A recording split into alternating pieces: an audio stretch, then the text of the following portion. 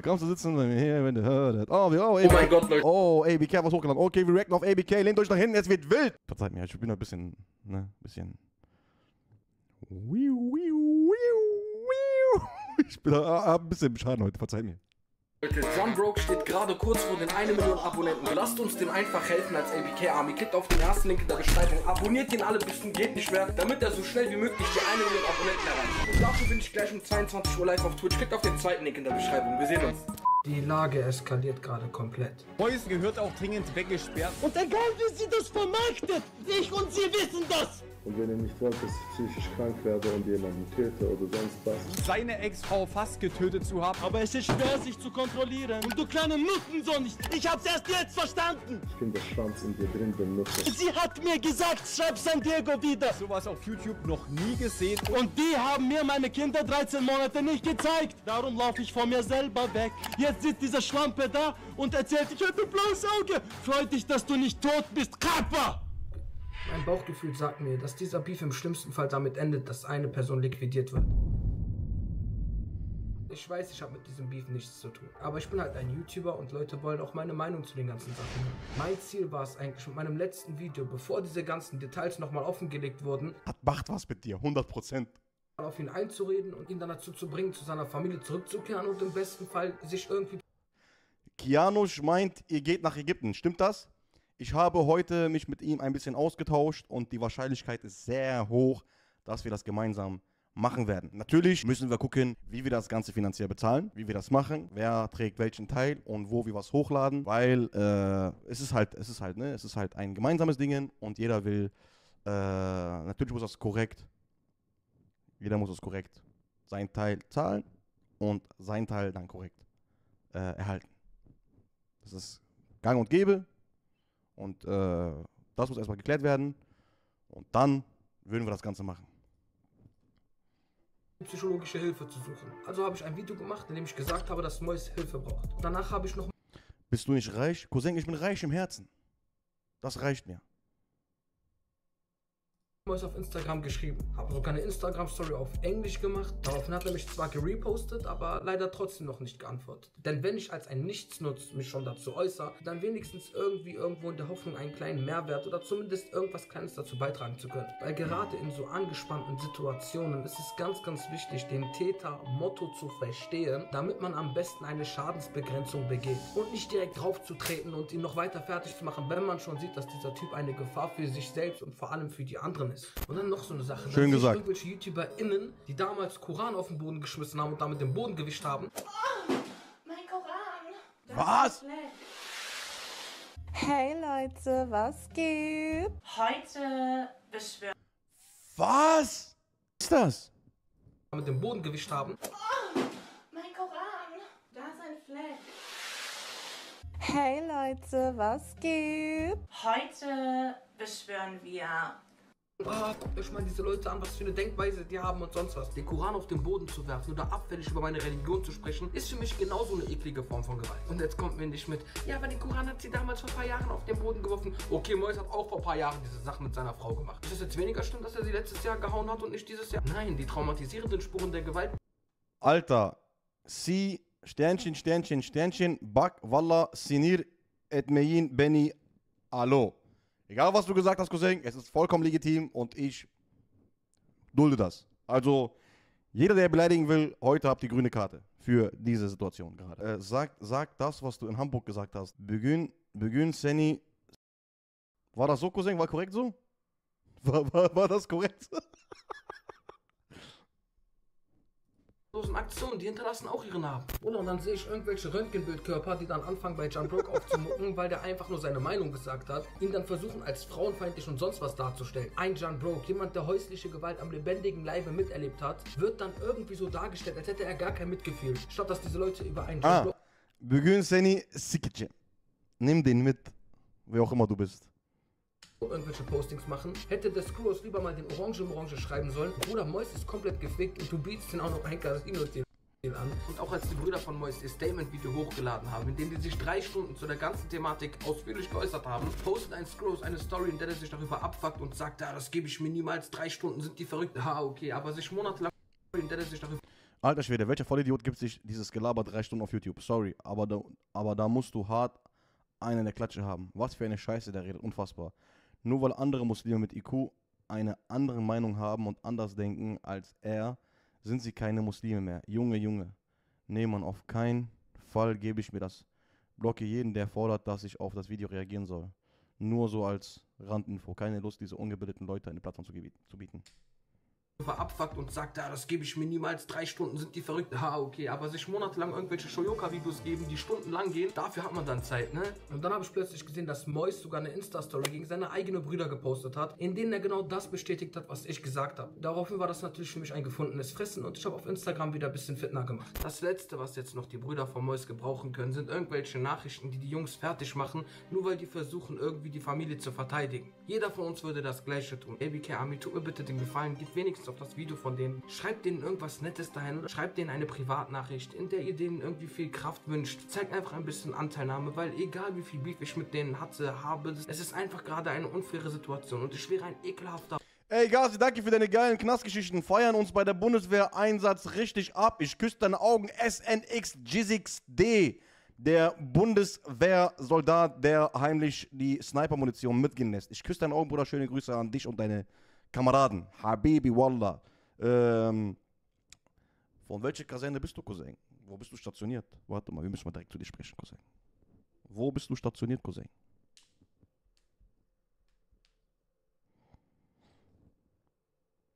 Komm, jetzt. Hau einen raus, Cousin. Komm schon. Komm schon.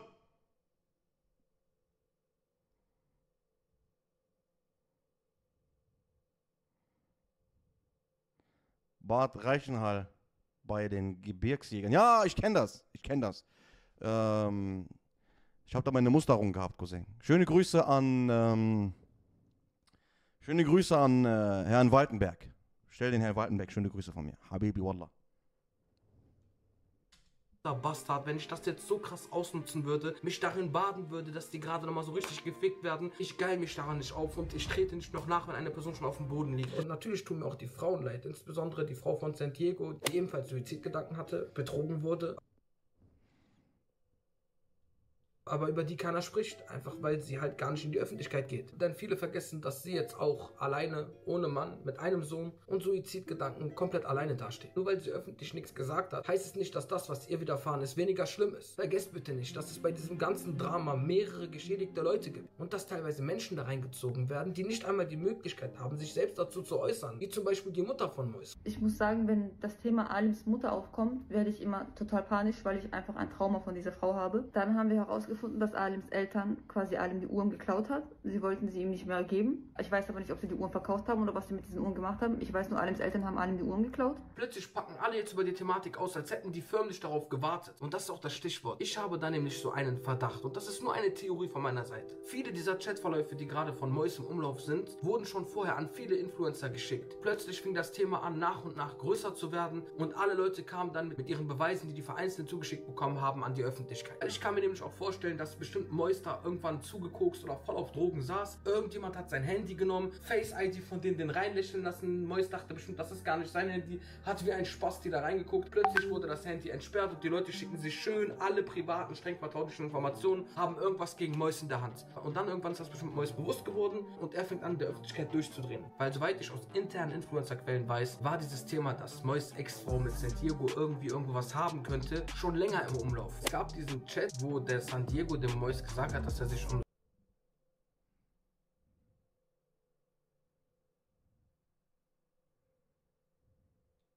Mois Ex-Frau kümmern möchte. Und Mois hat gesagt, dass das für ihn okay ist. Ich habe halt nur rausgefunden, dass du San Diego in Chats geschrieben hast, dass du ihn gern einlutschen würdest. Nein, du hattest schon geschrieben, so als ob du ihn eingelutscht hättest.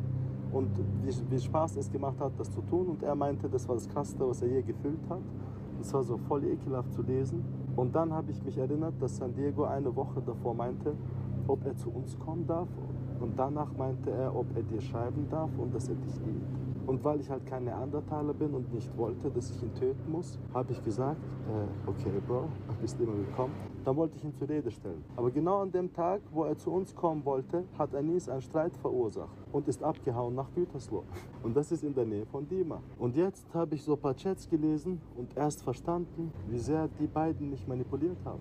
Und irgendwann später kam genau dieser Chatverlauf an die Öffentlichkeit und plötzlich ist Mois auf einmal durchgedreht. Wahrscheinlich war dieser Chatverlauf dann der Startschuss dafür, dass viele weitere Sachen von ihm jetzt noch geleakt werden. Und das kann auch irgendwelche Leute gewesen sein, die Mois wahrscheinlich auch verarscht hat. Oder die auch betrogen hat, weil das Mois viele offene Rechnungen mit Leuten hat. Das ist klar. Weil komischerweise wurden diese ganzen Sachen von Mois geleakt, erst nachdem er nicht mehr mit seinen alten Kreisen war. Sprich mit seinen alten Freunden, seinem alten Management. Weil ich wurde damals sogar schon von dem alten Management von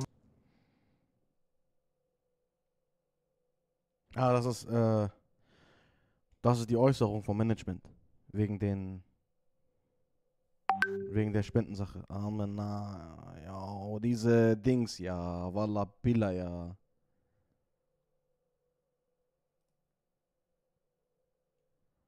Walla Billa, ja, warte, ganz kurz, ich mach mal kurz mal weg hier. So. Ich hasse das. Mois markiert. Und das wirkt für mich so, als hätte man damals schon geplant, ihn zu ficken.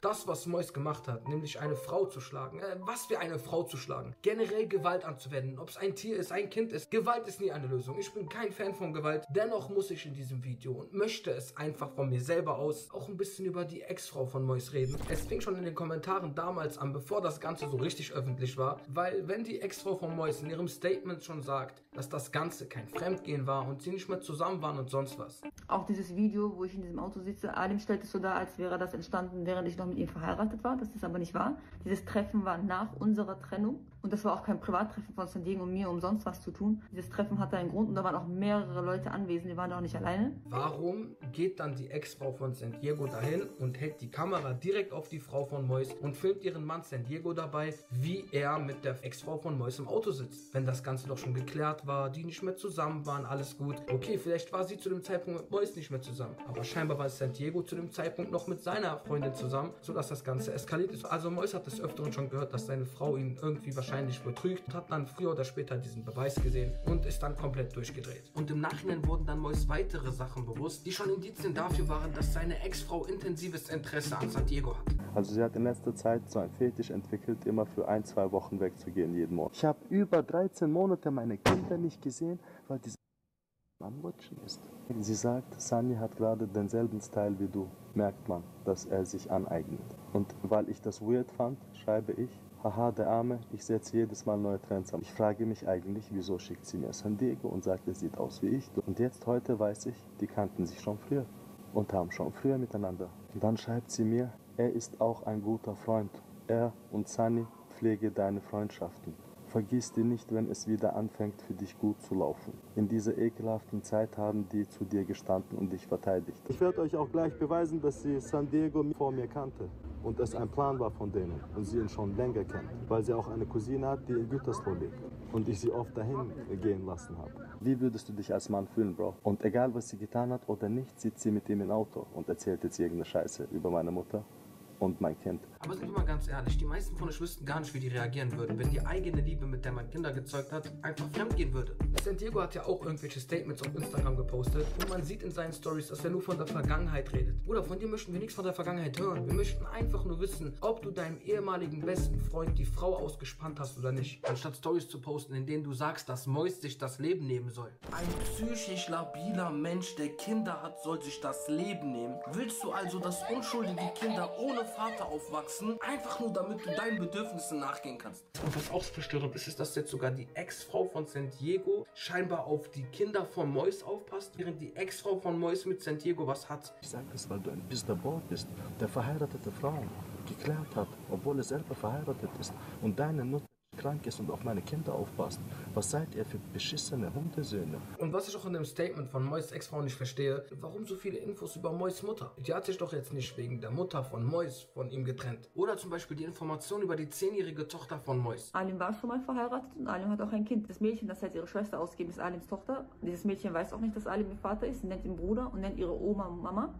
Damals war sie vier Jahre alt, heute ist sie elf, zwölf. Ich weiß nicht, ob dieses Kind mittlerweile die Wahrheit kennt. Warum wird die jetzt von Mois Ex-Frau im Internet erwähnt? Sie liegt und erzählt zeitgleich der zehnjährigen Tochter von Mois, dass die Frau, die sie gerade großzieht, nicht ihre Mutter ist, sondern ihre Oma. Wenn man doch schon so eine reife Frau ist mit Feingefühl, dann sollte man doch eher diese Aufklärungsarbeit der Familie überlassen und nicht das im Internet in irgendeinem Video raushauen. Und klar, alle regen sich jetzt darüber auf, dass die Tochter von der Oma großgezogen wird und dass die Oma Mama genannt wird. Aber keinen stürzt, wenn irgendwelche Kinder zwei Mütter oder zwei Väter haben, weil die LGBTQ-Eltern haben. Wo dann der Vater Mama genannt wird und die Mama Papa. Vor allem weiß die Ex-Frau von Mois auch, in was für einer Kultur sie aufgewachsen ist und welche Sitten es da gibt. Sonst hätte sie ja nicht auf den Segen ihres Vaters gewartet, damit sie endlich Mois heiraten kann. Und dann kommen irgendwelche Kopftuchscheiß, die mir krampfhaft auf integriert machen wollen und sagen, Klärt die Kleine darüber auf. das ist, was mischt ihr euch da ein? Eure Eltern sind größtenteils Cousins. Er hat mir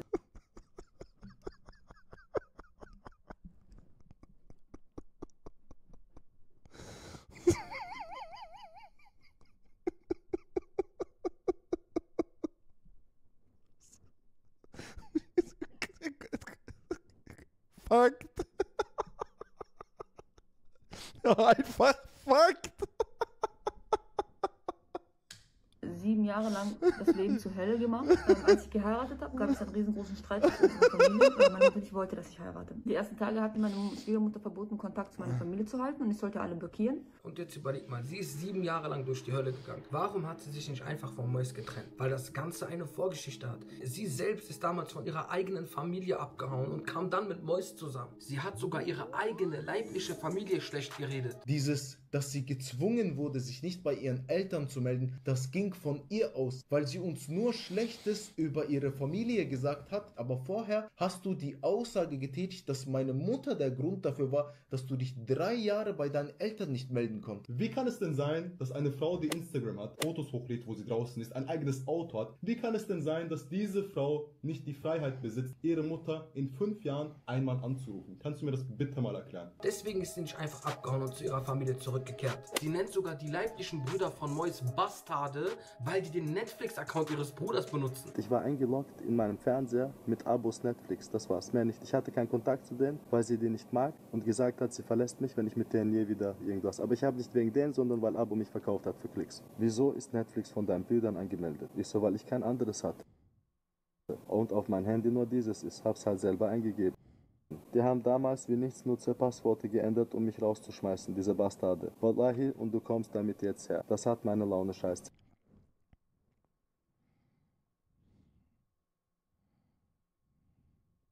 Zerstört, wie ein beschissener Fluch. Sobald ich glücklich bin, kommen diese Bastarde in mein Leben, egal wie und woher. Ich habe ihr 50.000 Euro Hochzeit bezahlt, auf der Hochzeit noch 10.000 Euro verteilt und war 20 Stunden am Fahren und habe jeden gut behandelt und sogar Tische abgeräumt. Und innerhalb von 30 Minuten ist sie von Danke, dass du uns gut behandelt hast, auf du hast meine Laune zerstört. Ich habe das Gefühl, dass manche Aussagen aus ihrem Video einfach nicht stimmen. nie Geld gegeben. Ähm, dann habe ich heimlich, bin ich in seinen PayPal-Account reingekommen und habe so angefangen, mir heimlich mir und den Kindern Anziehsachen zu kaufen und Sachen zu bestellen.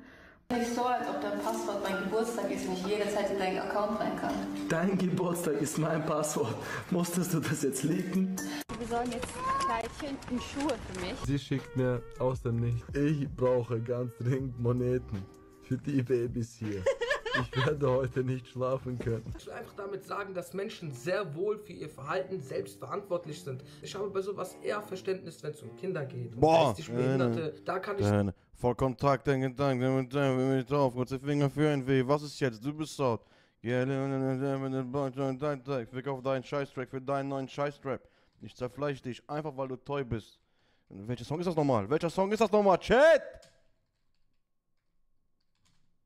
Müsste das oder sein, oder? Müsste. Gibt's den Song nicht im. Nein, den Song muss doch geben, Alter. Komm schon. Bei Nacht. Muss eine. Wer, wer, wer, wer, hat bei Nacht geschrieben? Bruder, geh schlafen. Ey, ich finde den Song nicht.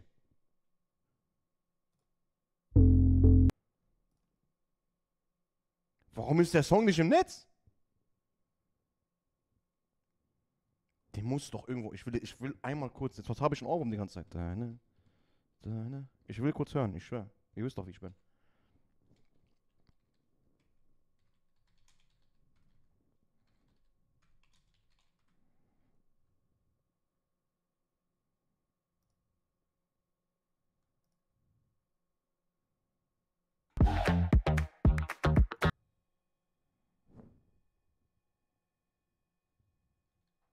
Ja, ich habe schon gegoogelt, alles gut. Ich will kurz einmal reinholen, sonst habe ich das die ganze Zeit in meinem Kopf. Ich kann das nicht, wenn ich irgendwo eine Melodie höre und ich weiß, welcher Song das ist, ich muss das hören. Das ist so ein beschissener Tick. Das ist so geil! Und das ist gleichzeitig wieder so traurig. Das ist so traurig, Alter. Ich höre euch, ja. Meine Fresse, Alter. Ich. Verdammter Vollidiot, Alter.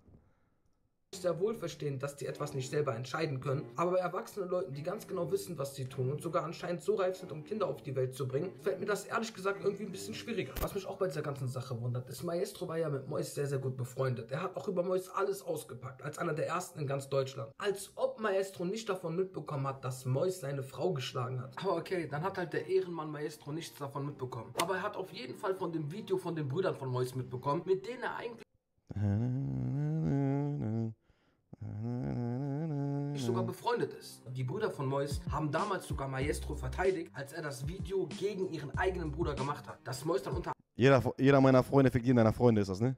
Anderem wegen der Sache auf seine Brüder abgefuckt ist, kann man ja verstehen. Warum ist dann der liebe Maestro nicht so korrekt und macht jetzt mal ein Video oder verteidigt die Brüder von Mois und versucht denen irgendwie zu helfen? Vor allem fand ich auch eine Story von Maestro sehr, sehr unpassend. Nämlich hat die Ex-Frau von Mois in ihrem Statement folgendes gesagt. Die hat mir ihre getragenen Socken gegeben und ich sollte von allen ihren Socken mit Hand diese Fussel entfernen. Das war eine meiner Strafen, die ich von ihr bekommen habe. Daraufhin kam wenige Stunden später von Maestro eine Story, in dem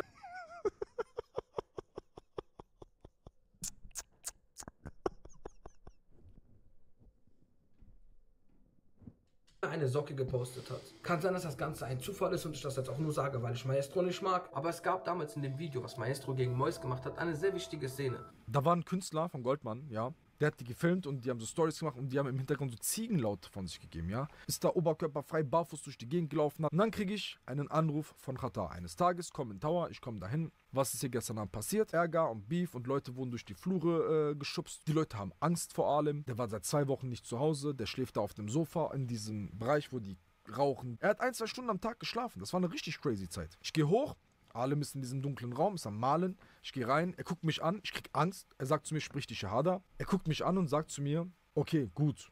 Das zeigt mir, dass du nicht der Teufel bist. Ich habe ihn zur Seite genommen und ich habe gesagt, Alem, guck mal, bitte, wenn du mich liebst, geh nach Hause. Und dann ist Alem mit dem abends nach Braunschweig nach Hause. Nach zwei Wochen oder über zwei Wochen zu seiner Familie. Und ich kriege an dem Morgen davon eine Nachricht, Alem ist verhaftet. Da ist wohl irgendwas passiert, die Nachbarn haben die Polizei gerufen. Ich will aus Anstand dieses Thema nicht so groß aufmachen. An jedem Tag, wo Mois so am Durchdrehen war, hat er ihn einfach nach Hause gebracht zu seiner Familie, wo er Kinder hat. Und daraufhin hat auch die Frau von Mois in ihrem Statement folgendes gesagt. Dann begann die Zeit, dass Alim öfters wieder nach Köln gefahren ist und diese Qatar Tower Zeit hat begonnen. Fing an, immer mehr Drogen zu nehmen. Alim war manchmal auch einfach für ein, zwei Wochen weg und kam nicht nach Hause. Eines Tages kam er nach Hause. Er hat sich total seltsam benommen. Er hat die ganze Zeit über den Teufel gesprochen. Er hat angefangen, mich zu würgen. Er ist komplett ausgerastet. Er ist durchgedreht, hat angefangen, mich zu schlagen, meinen Kopf mehrfach auf den Boden zu schlagen. Er hat mich gewürgt und fing an, Sachen zu sagen, in dir ist der Teufel. Ich beweise es dir, in dir ist der Teufel. Sag, sag Ashadu la ilaha. Ich sollte irgendwas aufsagen, ich weiß nicht mehr was. Er war dabei, mich so stark zu würgen, dass ich nicht reden konnte. Ich habe kein Wort rausbekommen. Er hat mich mit einer Hand gewürgt und hat mit der anderen Hand das Messer an meine Kehle gehalten und an meine Kehle die ganze Zeit hin und her geschliffen. Und die Nachbarn hatten die Polizei gerufen, weil sie meine Schreie gehört hatten. Dann haben die Polizei ihm Handschellen angelegt und ihn auf den Boden gesetzt. Ich habe meinen Istro angerufen, ich habe ihm erzählt, was los ist. Er hat drei Tage hier nicht geschlafen, der muss sich nur beruhigen. Das habe ich auch der Polizei gesagt. Dann habe ich die Polizei gefragt, wie will es jetzt weitergehen, was passiert jetzt? Dann haben die zu mir gesagt, ja, wir nehmen ihn erstmal mit aufs Revier. Oder jeder, der irgendwie feiern ist und dann voll besoffen ist, voll auf Drogen, geht doch dann nicht so direkt zu seinen Eltern und zu seiner Familie nach Hause, sondern versucht, wenn er extrem drauf ist, bei Freunden erstmal auszunüchtern. Dass man dann die Person direkt zu den Kindern noch nach Hause bringt, ist eigentlich das Dümmste, was man machen kann. Guck mal, Fakt. Fakt. Gar nichts gegen auszusetzen. Fakt. Wenn du einen Freund hast, der verheiratet ist oder auch nicht verheiratet ist, der eine Frau zu Hause hat mit Kindern und du weißt, dieser Freund ist gerade maximal, maximal drauf, nicht nach Hause. Pack ihn, schick den kalt duschen und sch- schick ihn ins Wohnzimmer und sag, bleib erstmal hier. Fakt.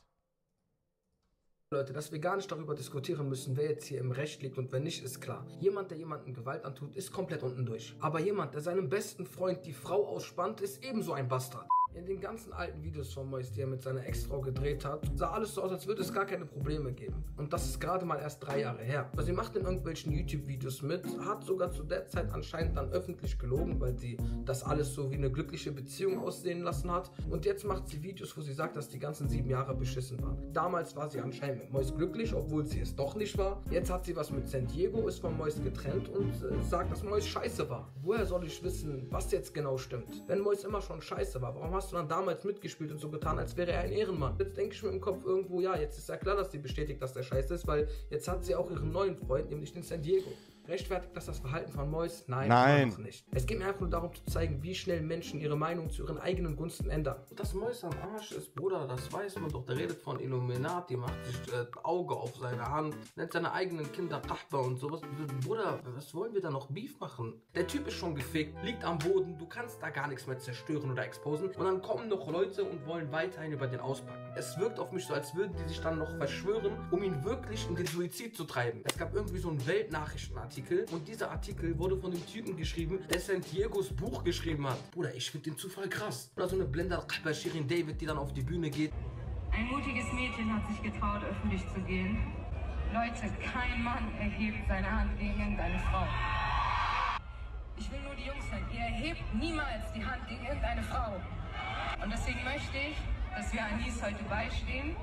Das ist für dich, Anis. Nochmal, schmeiß die Musik an. Wie wär's, wenn Shirin David das Mikrofon nehmen würde und sich stark machen würde für die Frauen, die in Palästina misshandelt werden und sogar sterben? Oder wenn sie sich das nicht traut, dann wenigstens über die Frauen reden, die von der Hamas entführt werden. Aber nein, das passt ja der PA Fakt.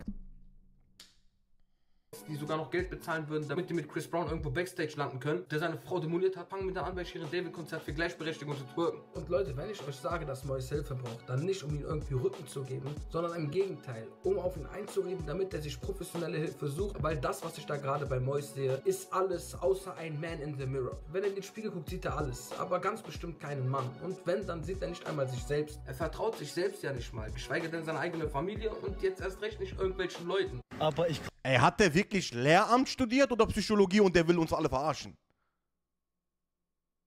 Ich habe irgendwie das Gefühl, dass der mich verarschen will. Der hat doch auf keinen Fall auf Lehramt studiert. Der hat doch 100% Psychologie studiert. Glaub nicht an diese Menschen, die neben mir beten und mich verkaufen, wie in Surat al-Baqarah. Inna alladhina kafaru sawahun alayhim anzartahum am tunzirhum la yu'minun. Sie sagen doch, dass sie gläubig sind. Aber dann weißt du, Bruder, wa asirru qawlakum aw jaharu bih innahu alimun bidhati sudur. Und mach sie zu Moslems. Dann bin ich Moslem. Aber ihr seid keine Moslems. Ich bin nicht solcher Moslem wie ihr. Ich meine, dieser Jalous, irgend so ein ekliger aus dem Internet, den ich gar nicht mag, macht ein Interview mit Mois und fängt danach an, über Mois auszupacken, postet dann eine Story, wo der genauso scheinheilig wie Shirin David auf Ehrenmann macht. Der einzige Grund, warum ich das gemacht habe, ist, weil ein Mann seine Frau geschlagen hat, jahrelang ihr Leben verflucht hat. Ich versuche den Frauen, die gerade unterdrückt werden, eine Stimme zu geben. Und in Deutschland ist das immer noch nicht angekommen bis heute. Ihr könnt mich haten, so viel ihr wollt. Und ein paar Stunden später postet er einfach seinen schäbigen Schrottsong. Er hat das Ganze gemacht, einfach nur, um seinen Song zu promoten, den kein Mensch hören will. Und diese ga-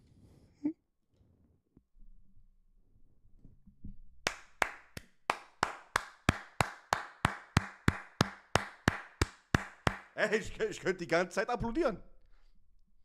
Ich könnte die ganze Zeit applaudieren. Bitte, bitte, bitte gib mir diese drei Minuten nochmal. Bitte. Ich brauch das. Ich brauch das gerade. Gib mir diese drei Minuten, bitte.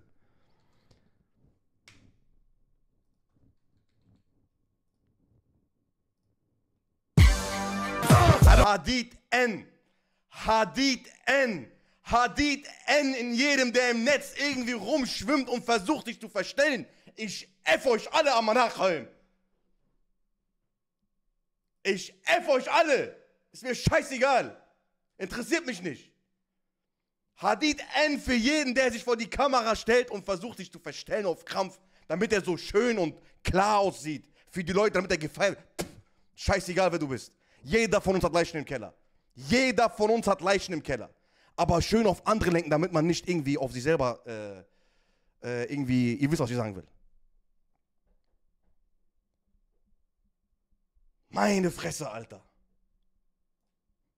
Ich kann das nicht mehr, dieses ganze, dieses ganze Rumgejeule und dieses ganze Rumgeschauspielerei und jeden am Arsch lecken am Anachem. Alleine mache ich hier das ganze Scheiße hier. Alleine, Mann.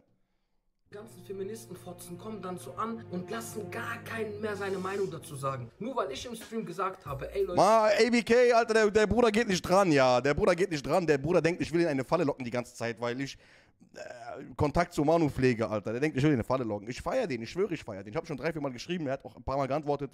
Beim letzten Mal ist irgendjemand verstorben. Und äh, Allah irhamu, Allah irham, Allah irhama, egal wer das gewesen ist, ich bin mir nicht ganz sicher, äh, welches Familienmitglied da verstorben ist. Aber ich, ich äh, er, er will absolut keinen Kontakt mit mir haben. Ich sag's wie es ist. Er, er meidet mich. Obwohl ich den Typen feiere, Alter. Ich sag's wie es ist. Leute, die Frau von Mois hat vieles mit sich machen lassen und das zeigt, dass sie kein richtiges Selbstwertgefühl hat. Warum gehst du heiraten, wenn du kein eigenes Selbstwertgefühl hast, nicht selbstbewusst genug bist und gar nichts von dir hältst? Das sind dann immer diese Menschen, die in eine emotionale Abhängigkeit gelangen, was niemals gut ist. Und genau das sage ich meinen Zuschauern, um als jemand, der immer noch auf Vorbildfunktion scheißt, gute Werte mitzugeben. Denn ich bin aus eigener Erfahrung der Meinung, dass da, wo die Emotionen anfangen, die Logik aufhört. Und das sage ich den Leuten immer. Wenn ihr Ich bin der Meinung, dass da, wo die Logik anfängt, die Emotion aufhört. Aus eigener Erfahrung der Meinung, dass da, wo die Emotionen anfangen, die Logik aufhört. Und das sage ich Leuten immer. Wenn ihr verliebt seid, seid vorsichtig, verliert dabei nicht euren Verstand. Ihr solltet nicht jemanden lieben und euch dabei von euch selbst scheiden lassen. Die arme Frau war emotional abhängig, die konnte sieben Jahre lang nichts machen. Ja, es ist scheiße, es ist ekelhaft. Aber am Ende des Tages könnt ihr doch nicht den Leuten einfach sagen, ja, ist doch normal, die war sieben Jahre in der Beziehung, weil sie voll emotional abhängig war und so. Ihr tut so, als wäre Liebe eine Krankheit, die einfach dein Gehirn frisst wie so ein Hirntumor und du gar nichts mehr entscheiden kannst. Sie ist eine erwachsene Frau. Sie trägt irgendwo auch eine gewisse Teilschuld, weil sie nämlich durch ihr Verhalten nicht nur sich, sondern auch die Kinder in Gefahr bringt, wenn die trotz Gewalt und Drohungen bei ihrem Partner bleiben. Oder wollt ihr mir jetzt sagen, wenn irgendjemand gegen euch Morddrohungen ausspricht, euch erpresst, dass ihr dann einfach gehorchen solltet, das mit euch machen lassen sollt? Nein, ihr solltet euch niemals erpressen lassen. Ich schwöre, diese ganzen kleinen Best finden Romeo und Julia voll süß, weil die wegen Liebe gestorben sind. Und was passiert bei uns hier in Deutschland? Am Anakim, irgendeine Frau geht mit Spongebob fremd. Und viele von uns kennen das auch, dass die eigenen Eltern geheiratet haben und immer noch zusammen sind, obwohl die sich jeden Tag streiten, aber die Mutter trotzdem noch mit dem Mann zusammen bleibt, einfach nur den Kindern zuliebe. Jedes normale Kind wünscht sich lieber eine normale, gesunde, glückliche Mutter, anstatt eine unglückliche, kranke, krampfhaft verheiratete. Und diese Bastard in den Kommentaren, die mir dann sagen wollen, der ABK ist Frauen gegenüber voll respektlos.